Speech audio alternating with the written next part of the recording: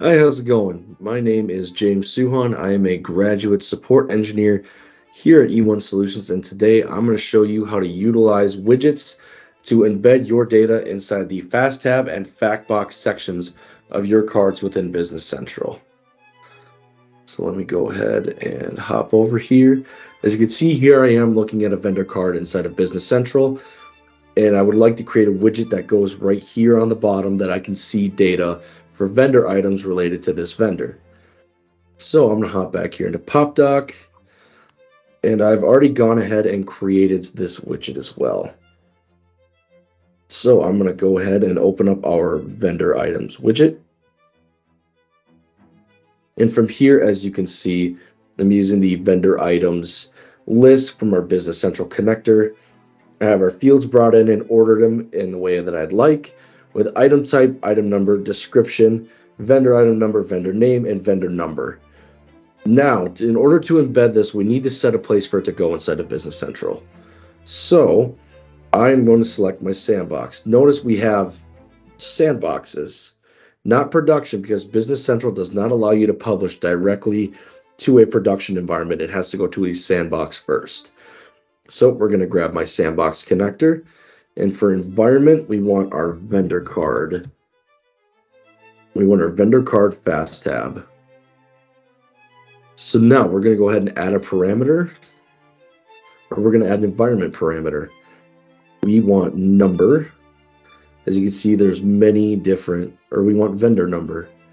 And we are going to grab our vendor number from here, and we're going to grab that and set that. So that way, when we're viewing it, we can only see the items attached to that vendor number. And for our widget options, we're going to go ahead and give it full functionality so we can fully manipulate it as any way we would like. And we're going to do vendor number 10,000 and we are going to preview this. As you see, we have vendor items. Here is our item number, vendor item number, our description, and here is our vendor number. Now, if we were to change this to 20,000 and we refresh, now it grabs it from 20,000. So now it comes down to the point where we need to get this published into here. We could use this, but this is not the best way to do this. We do not want to use this publish button. It'll just cause problems down the road. What we do want to do, and the correct way to publish it, is we are going to open up our sandbox connector here. And once we go down, here's our sandbox connector. We're going to open that up. And you're going to want to come down here to the extension tab. Notice here right on top, vendor items unpublished changes. So from there, we're going to want to go ahead and we are going to want to publish this.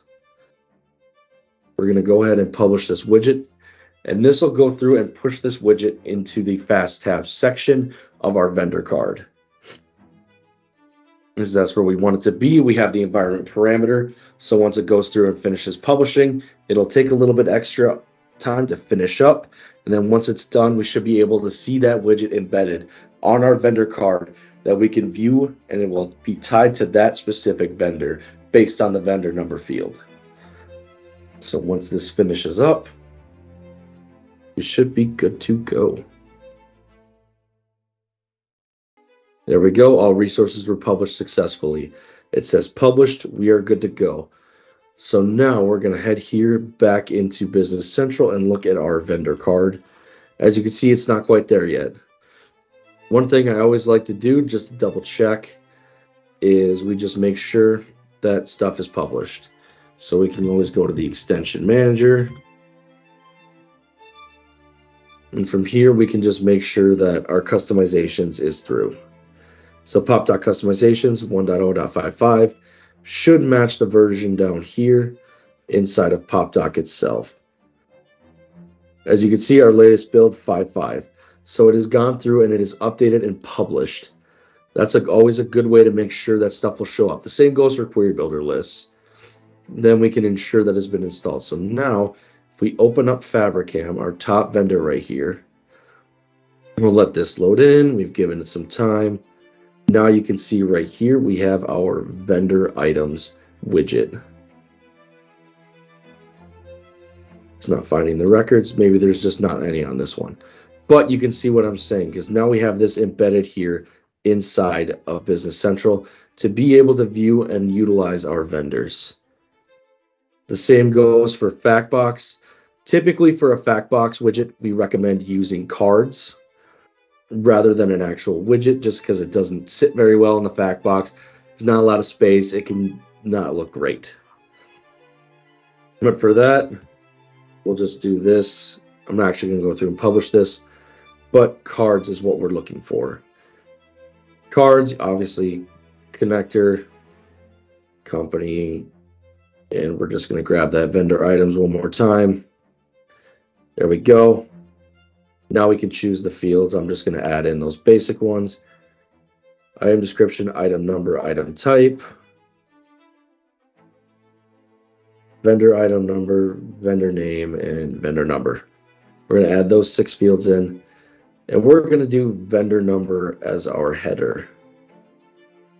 That's what we want to do. We're going to pick that as the header. So now obviously I'm not going to set parameters or anything, but we go to preview, we punch it in, and it should create our card for us. There we go. There's our cards that we can embed into the fact box. As always, thank you for taking the time to watch this video.